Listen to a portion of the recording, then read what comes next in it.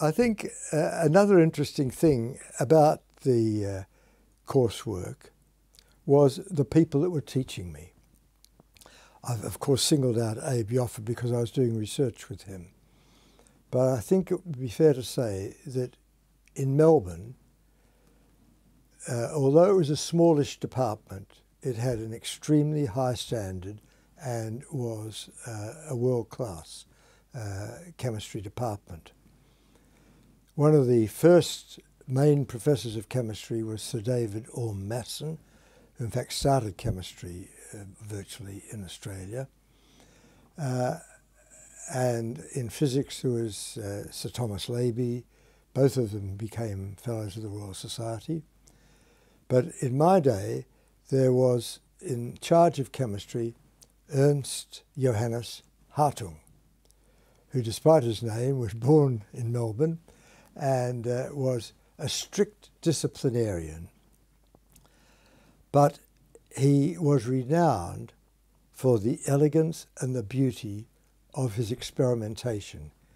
He had devised, before, of course, television and videos and so forth, he had devised a series of miniature experiments which he could do on a lantern slide projector and project the result of this to the class on a screen.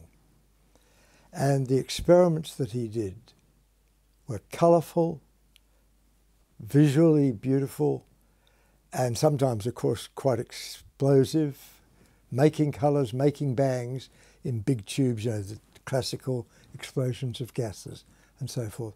He had us enthralled. And he was a, a showman and a past master at this. I can recall one instant when we had in the Masson Lecture Theatre, it was a raked lecture theatre that held about 250 students. And it was packed for first year lectures.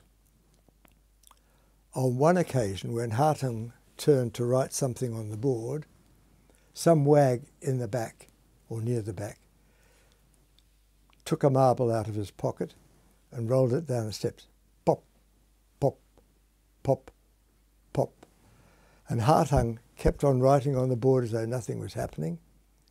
And then when it got to the bottom, he turned round and said, Leave the lecture theatre now.